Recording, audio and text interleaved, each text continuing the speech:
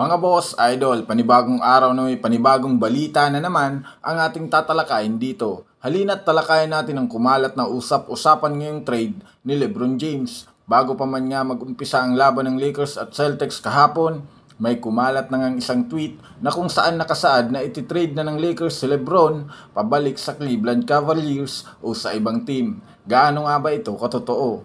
Tatalakayin na rin natin dito ang naging babala ni Shai Gilgis Alexander sa mga team sa West na nagmumukhang ito na nga ang bagong Jamorant ng Western Conference. Pero bago yan, please don't forget to hit the notification bell at mag-subscribe sa ating channel.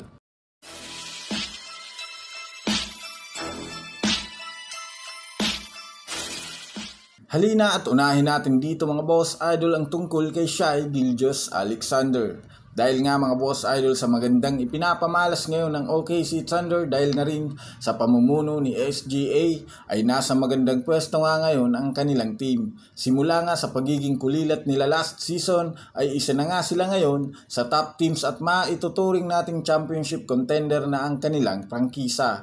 Kudos na rin naman nga sa kanilang general manager ni si Sam Presti na napaka-impressive ang ginawang rebuild sa kanilang kupunan. Simula nga nang tinanggal nila si Westbrook, dito na nga nagsimulang magsimula ang kanilang prangkisa. Pero guess what, may hawak na nga sila ngayong 34 wins, 15 losses bilang top 1 sa Western Conference. Naaangatan nga nila dito ang defending champion na Denver Nuggets at ang mainit na team ng Minnesota Timberwolves. Kaya naman dahil dyan mismong si SGA na nga nagsabing kayang-kaya na nilang makipagsabayan ngayon sa post-season lalo pat naniniwala nga ito na may sapat na silang experience na magbabago lalos sa kanilang posisyon sa playoffs. Naniniwala nga ito na magagawa nilang umabot hanggang finals upang maging representative ng Western Conference.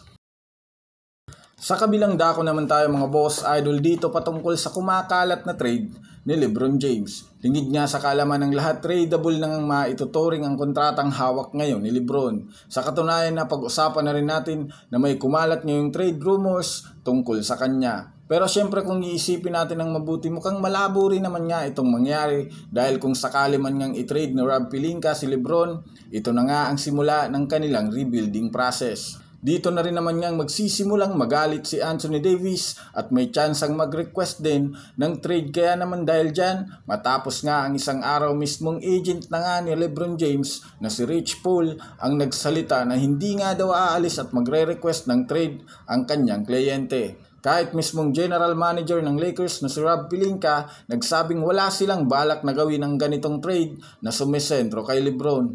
Focus nga daw sila ngayon na malampasan ang nagawa nila last season. Nga pala mga boss, idol out nga indefinitely si Jared Vanderbilt sa Lakers dahil sa nakuha nitong injury sa kanyang paa kahapon. Pagdating naman kay Gabe Vincent, official na ngang itong nailagay sa trade list ng Lakers dahil hindi nga nila ito napapakinabangan.